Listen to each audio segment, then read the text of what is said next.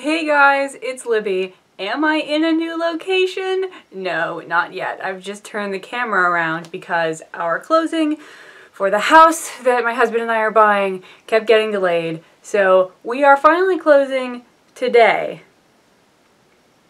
And then we're gonna start moving. So my tripod is packed up and my room is a mess. But I needed to shoot something today because I am embarking on a crazy quest. Yes, I am doing Veda or vlog every day in April.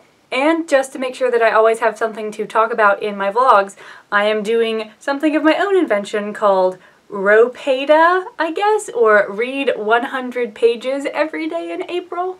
I recently upped my Goodreads reading goal for the year from 70 to 100 books. And March, what with one thing and another, I didn't get as much read as I wanted to. So April, I really want to power through them. Now you're like, Libby, um, how are you moving house and also reading 100 pages every day? Well, I'm going to maybe cheat a little bit. I'm going to either read 100 pages or listen to two hours of an audiobook, which, yeah, probably about 100 pages. Close enough.